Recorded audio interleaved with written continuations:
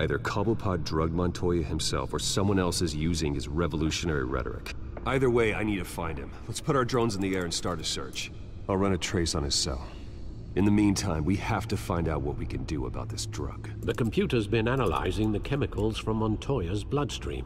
Throw that up on the monitor. The residue I scan on Montoya is similar to the nerve agent I found at the docks. Let's see what we got. It's ironic that Falcone died at the hands of someone drugged with his chemicals. Who'd have guessed that's how he'd meet his maker? Prone in his sickbed, surrounded by police who were ordered to protect him. Murder at the hands of Montoya. That's not justice. Whoever did this was judge, jury, and executioner. No one should act as all three. I hope he told you something before he was killed. What did you learn from him? Practically family, he said. Family? Funny, I don't recall any Sunday dinners with the mob. It wasn't Falcone who called the hit. Yes, well, I suppose that makes sense. Your father, Hill, and Falcone would have balanced each other out. Computers pinpointed reference points on the two compounds.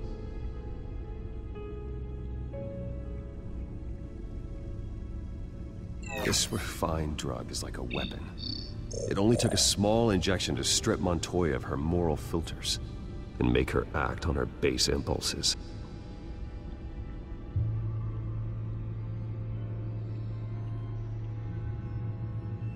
The men at the docks were doused with the base chemicals. The reaction was messy. They were out of control. Both compounds seem stable, but they're quick to fall apart. Whoever processed it knew what they were doing. What could the creators of such a drug possibly have in mind? Fighting your wars is one thing, but drugging others to fight them for you? Oh. Considering the amount they stole from Falcone, they could build a small army of remorseless assassins. The thought is chilling. Your drones are in position to triangulate Cobblepot's location.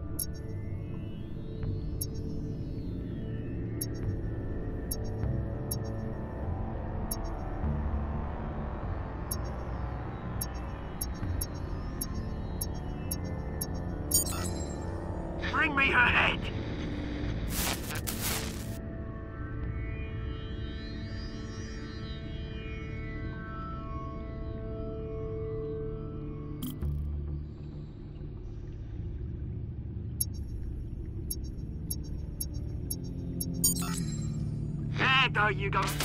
You'll be alright. Alright.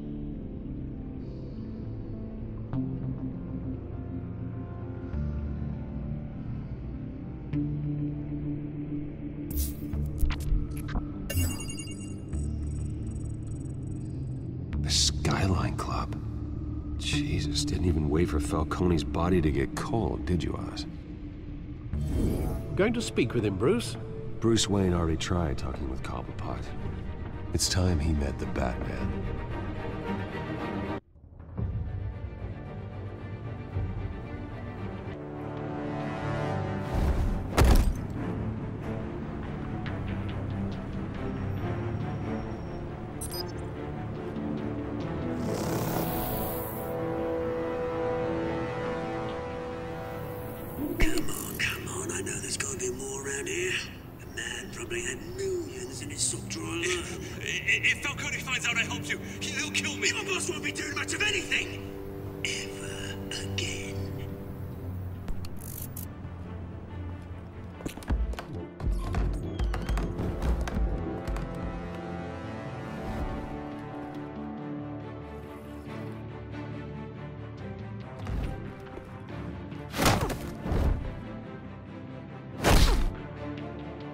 You lot, come check out this office.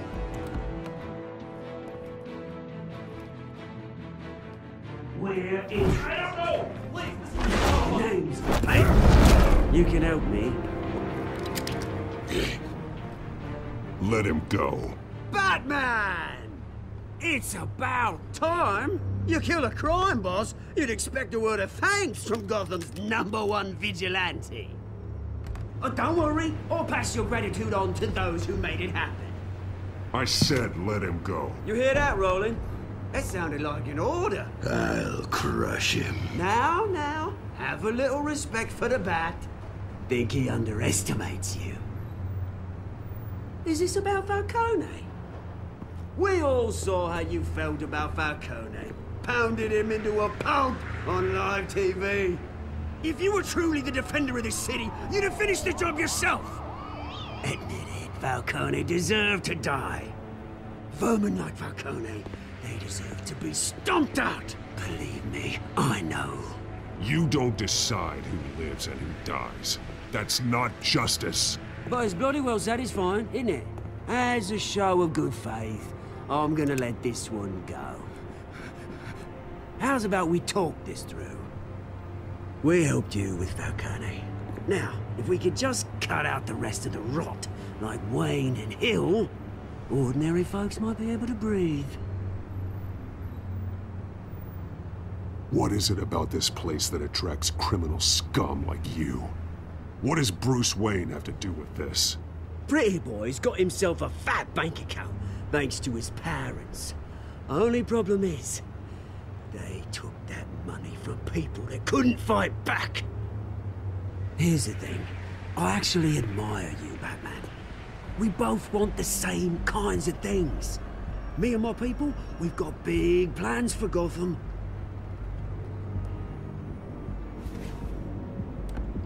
They found Catwoman. What do you want with her? We had a deal. She didn't make good on it. So sorry this didn't work out, mate. I'd stay to watch. I would, but I still got a Catwoman problem to deal with. Oh, what's her name again? Selina. Yes! Oh, beautiful name.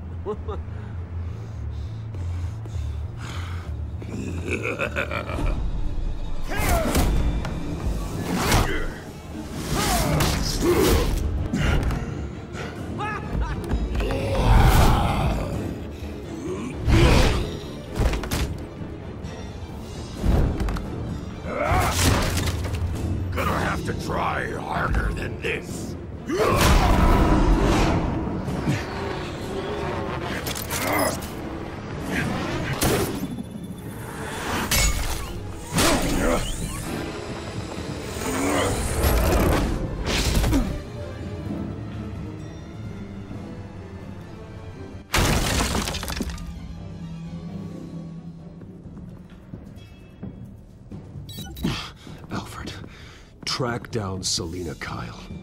I'll find her right away.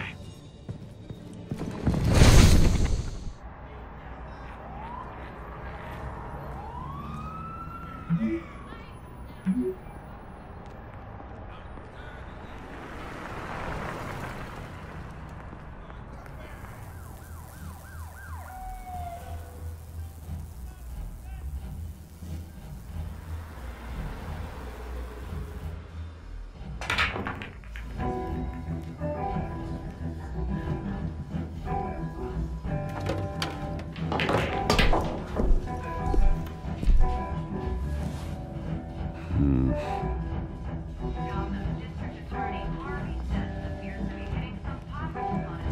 that Bruce Wayne?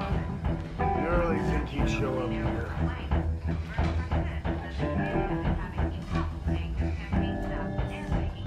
Did you hear? Cops. You lost? Because I don't have time for tourists. Looks like you walked into the wrong bar.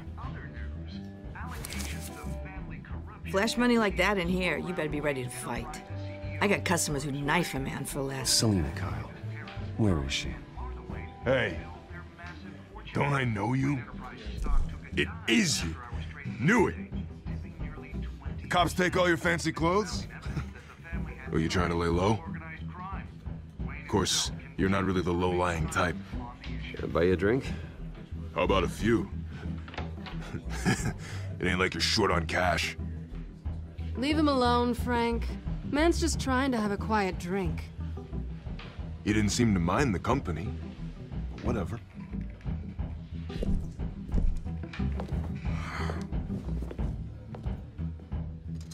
Selina, I need to tell you something important. Better be an apology. You were supposed to take care of our mutual problem. Instead, you just pissed him off. Well, I've met a couple of his goons myself. Your client isn't one for subtlety. The man who hired you, his name is Oswald Cobblepot. Never heard of him. He goes by Penguin. Penguin? Shit. Ugh, you've got to be kidding me. You should have just killed me on that rooftop.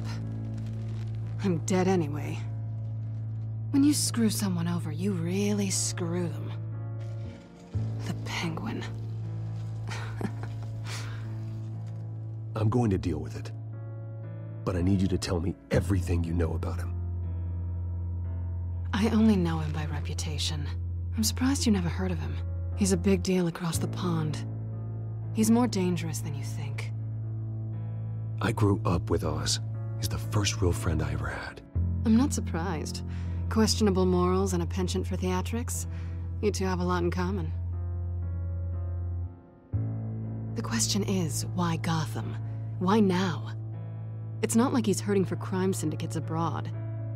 He thinks he's changing the world for the better, no matter the cost. Well, he's no Joan of Arc, that's for sure. Well, I'm not sticking around here to find out. Oswald, Penguin is about to unleash God knows what on the city. You can't just leave.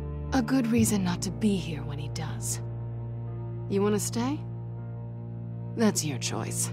If Penguin is everything you say, there's no tree high enough for you to climb. He will find you. So what are you suggesting? The bat helps the cat? And the cat helps the bat. Bruce, sweetie, the gallant knight thing, it really is adorable. But what would Harvey think? The two of us, working together. After all, I'm not really an all work and no play kind of girl. Harvey knows that. You and Harvey, it's pretty clear you aren't just friends. Please, I'm just toying with him. I only take my claws out for someone special. You and I...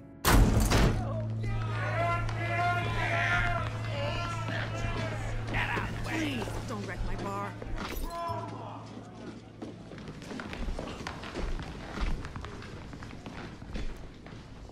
Well, Bruce, you were right. Selina Kyle, Penguin says hello.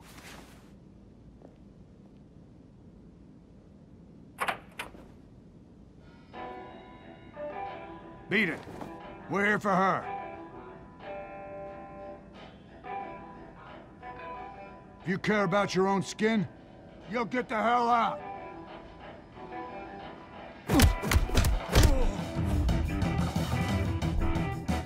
Ah!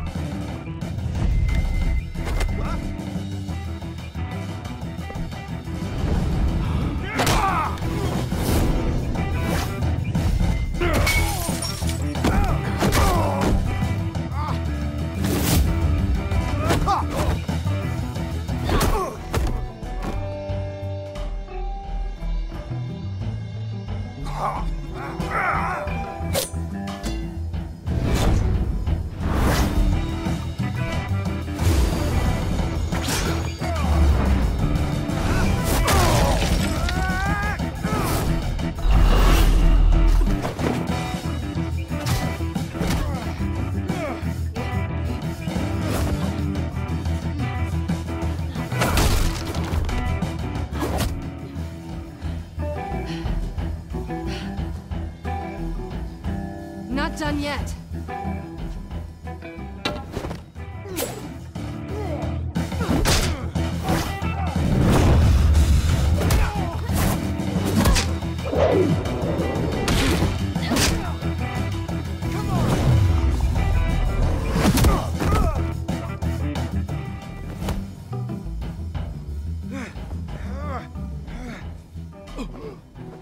I think they want more. Then let's give it to him.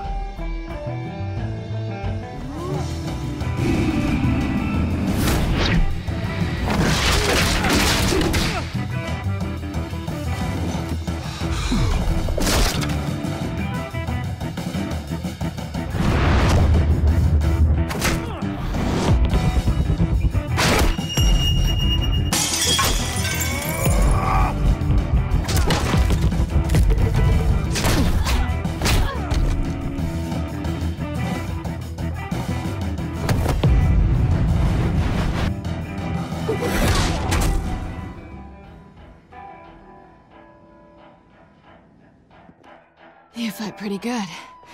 For such a pretty boy.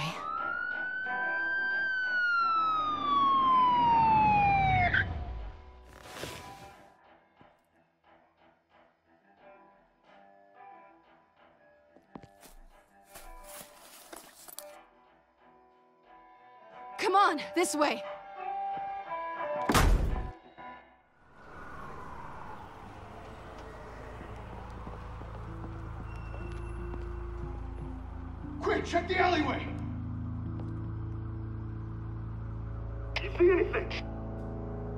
Negative. Let's check the other side.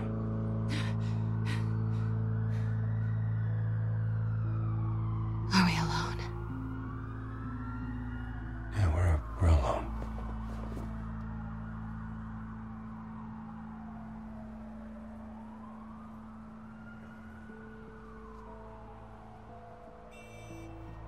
Let's get out of here.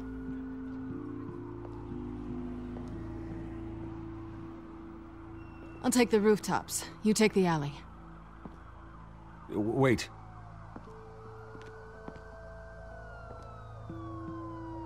When will I see you again? When you least expect it. You shouldn't trust me, you know.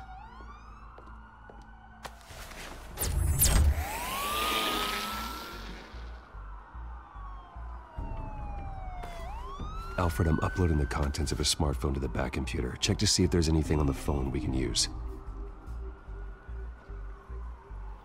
Uh, processing it now. Is everything all right? There are quite a few police cars convening on your location. It's fine. Has the Batcomputer found anything yet? Bruce, there are a number of messages here. All from Mayor Hill. Mayor Hill? Uh, the last voicemail is his. Listen to this. I gave you everything I have on Wayne. I've held up my end of the bargain, and I expect you to do the same. This is very shady indeed. Whatever they're talking about, it doesn't sound good. Hill is setting me up. Penguin's gonna take a shot at me. If Hill's talking to Penguin, he must know something. It's time I paid him a visit. I agree. The mayor must have answers, but if I may offer a word of advice. People look up to Batman after how you handled Falcone.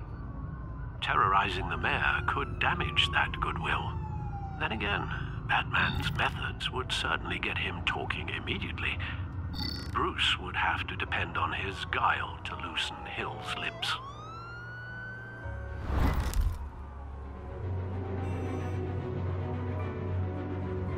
Going as Batman is the sure bet.